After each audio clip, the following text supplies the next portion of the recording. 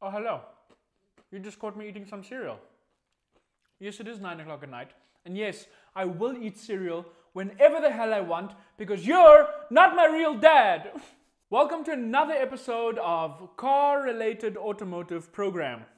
You do that, you work that out, what that means. In today's show, we are going to speak about the pressing issue of the new fastest production car ever. I am, of course, speaking about the Koenigsegg, and listen how I said that.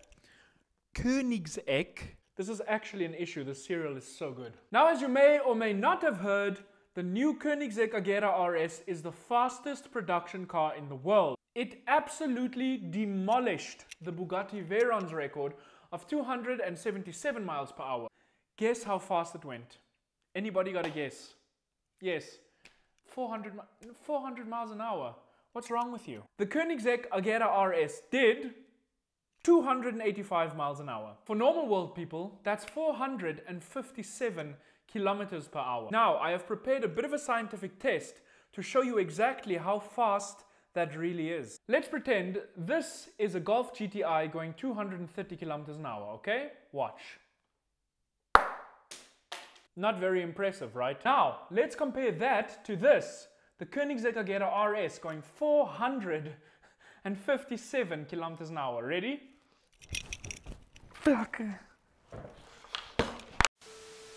Not only did the Koenigsegg break the record for the fastest production car speed ever, but it also broke the record for the fastest 0 to 400 and back to zero time. 400. Now imagine this, just a couple of years ago we were still testing cars trying to get to 400 and now we've crossed 400 and we're getting closer to 500. People, this is past the speed that passenger airlines take off. You know that feeling when you're in the plane and it starts accelerating and you get pushed back into your seat and you look out the window and everything's going by so quickly. Next time you're doing that, look out the window and imagine a Koenigsegg going past you like that. Something like in this video. That was the Deutsche Autobahn! Now, the most impressive record is this next one. Back in 1938, a small company you may have heard of called Mercedes-Benz set a record on the Deutsche Autobahn. They wanted to set the fastest road speed ever recorded. And they managed with this purpose-built racing car for the road just to break one record. And along comes Koenigsegg from a little city in the north of Sweden called uh, Ängelholm. And they build a car that anyone can buy. Well, if you have a couple million.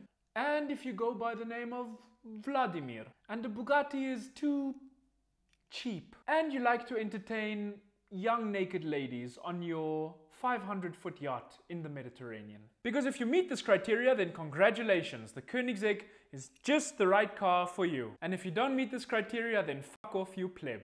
And having come to the conclusion that none of us will own a Koenigsegg, please leave a comment down below what you'd like to see in my next video because I definitely read all the comments. I'm joking, I do. You can actually look at my last video, I read all of them. Auf Wiedersehen. Now, can I have the beer, please?